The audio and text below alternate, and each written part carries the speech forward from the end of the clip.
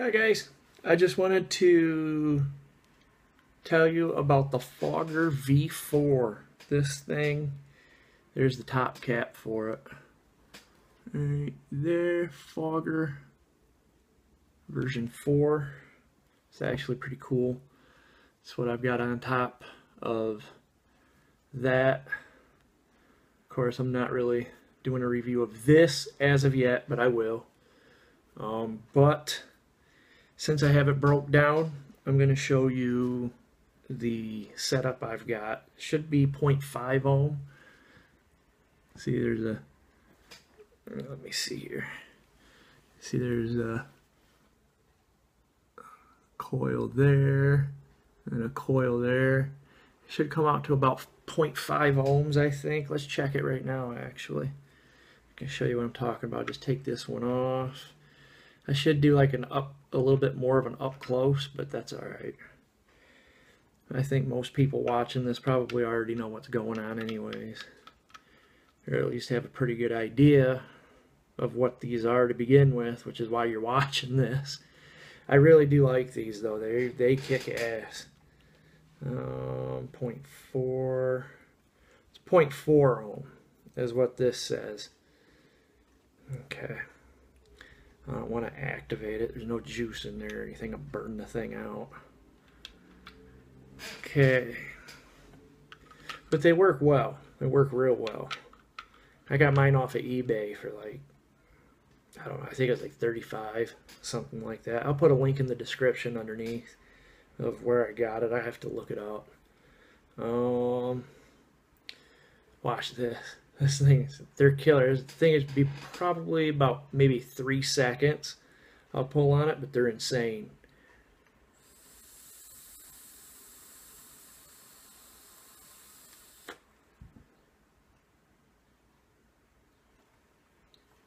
That thing is nuts, man.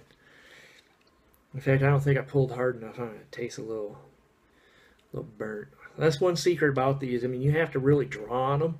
If you, especially if you have like the airflow open, you have to really, you know, you have to really draw on it pretty aggressive to keep that suction, keep the wicks wet, keep the juice coming in. Let me try it one more time.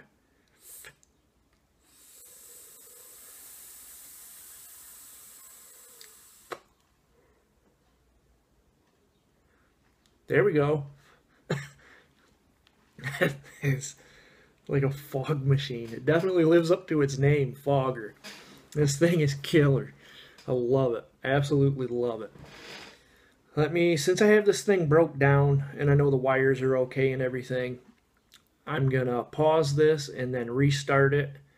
And I'll show you guys how to put it together.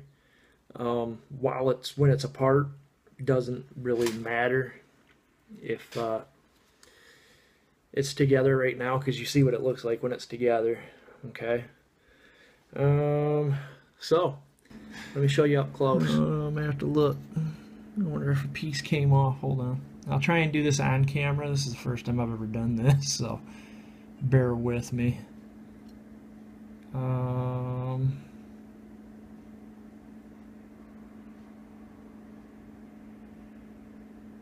no, it looks okay. I don't know. It's weird piece of wire from something. So anyways,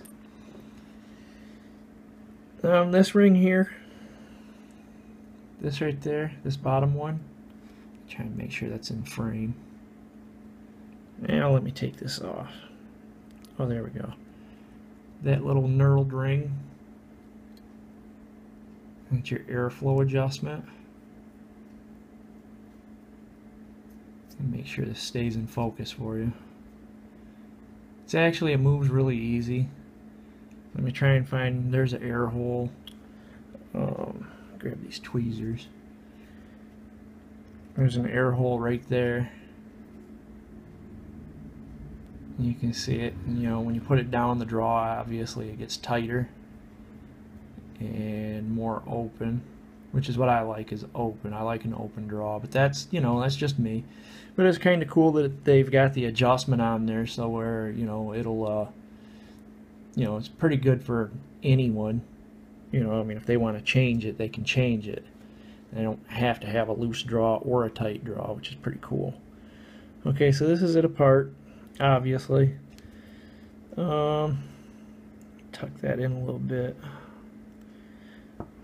I got new cotton. I don't want to re-cotton or, you know, re-wick it or anything. But there's the bottom part of the chimney. It says fogger. So you just twist that down. And there's the other part of the chimney. And you put that on there. And you twist that down. These are actually, they're, they're built pretty well. I've been using both of these tanks for probably, what, two, three months now? Somewhere on in there. I absolutely love it. They hit really well. Depends on your build. I always do like a 0.5. That's what works best for me. So I just kind of stick with it. I have my own little formula. Excuse me, the little formula that I go by. Um, let me see. Yep, that rings in there. You put this on there, you just center it up, and the threads will catch right in there. And then tightens down. See the fogger there and fogger there. I put it, see how it's directly lined up in the middle?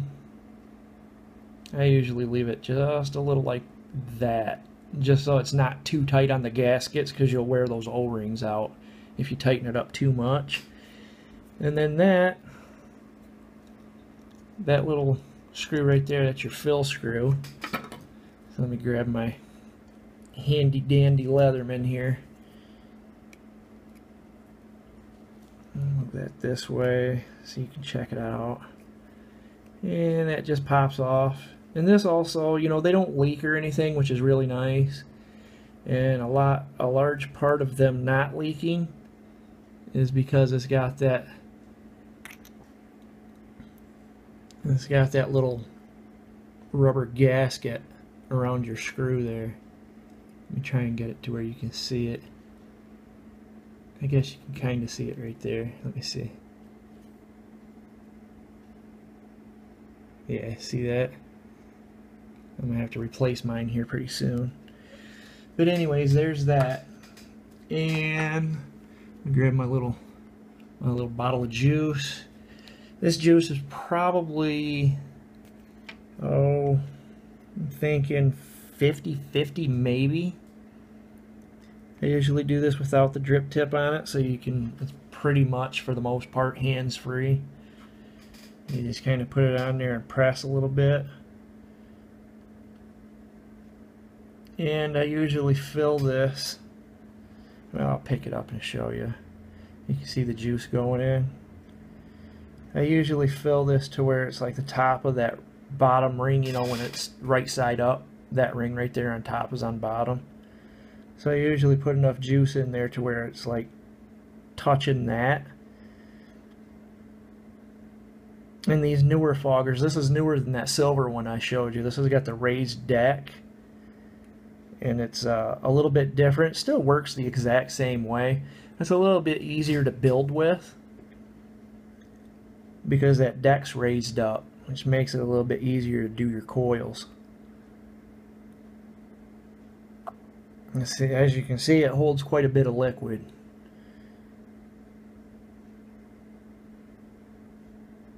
Let me see, put some more in. See how it's filling up? You got that little bit of air right there. Boom. I'm done. I'm not putting any more in than that. You don't really need to. It holds probably, I'm thinking at least five, maybe even six mils of juice. Grab a paper towel here. I don't want stuff all over my mod.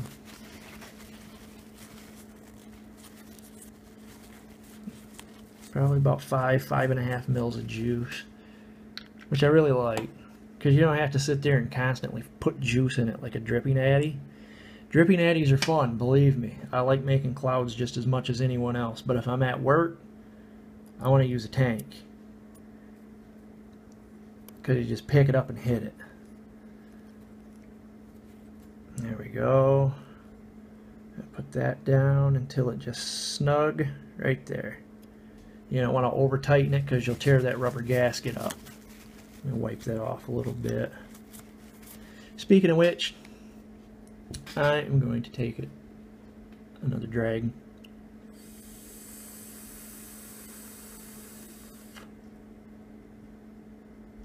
That is insane. That is a lot of vapor. Um, let me see here. I put the drip tip on it. Try and move relatively quick for you. I don't want to make the video too awful long. It'll get boring. There we go. There it is with the old drip tip. It's pretty cool. Fogger. Okay. Now what I'm going to do is pause this and then I'll put it on my mod, use it a couple times, and uh, let you know if I rebuilt it right. Okay, so there we have it. I take this one off. Got a little bit of juice in there. I wiped it off of there. I'll do a review on this too. This thing, for what it is, it's sick. This is crazy. Really good. I'm like beside myself with how that mod is, with how it works. Anyways, let's let's talk about the fogger. We'll get to that here in a little bit. I might even shoot a video, another one later on tonight. Okay, there it is. Look at that. How cool is that? That looks crazy. Okay, let me touch this real quick. Now 0.5 if it's not going to glare too much. I can't, I don't know. You're probably not going to be able to see that. Okay, well, let me do a couple primer puffs. I want to make sure those coils are nice and wet with that cotton.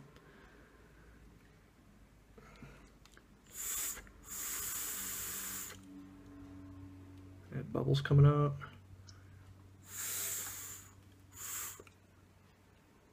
I don't know. We'll find out. If it's nasty, I got to redo it.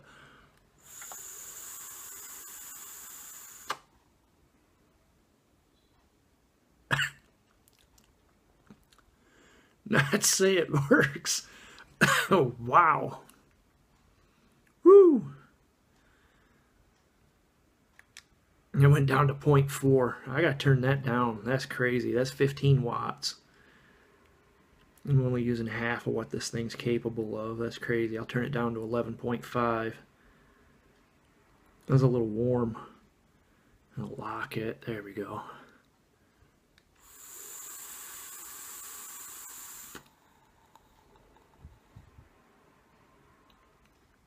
That is insane. Woo! Seems to be working okay. So, uh, yeah, check them out. Like I said, I'll put a description in the uh, in a link below of where I got it and how much it was, or I can't remember. Like I said, I think it was like right around 35. But they're uh, they're insane. They're insanely good. I I really like them. I think you know if anybody builds their own coils and uh, you know does their own and they're like a hobbyist of it I mean, don't don't let the price fool you. I know there's you know dual coil, you know tanks out there. They're 150, you know 100 100 150 dollars, which is you know for me that's that's insane. For me personally, that's too much money for me to spend. So, you know, I just I I like this. It it works. They work really really well. You know, dual coil, and you get a lot of performance out of them and the the flavor's phenomenal. I've never tasted anything like that in my life, and you know, I can't say enough good stuff about them. So check them out. You guys take it easy. Bye.